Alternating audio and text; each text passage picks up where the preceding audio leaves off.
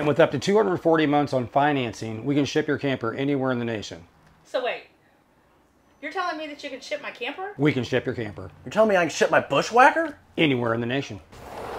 Can I ship multiple times? You can ship as many times as you want. Can I ship my cougar? I've never been in a cougar before.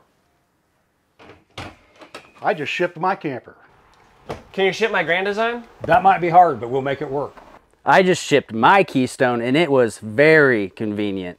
Like we said, we'll ship your camper anywhere in the nation for free, but only here at Unlimited RV.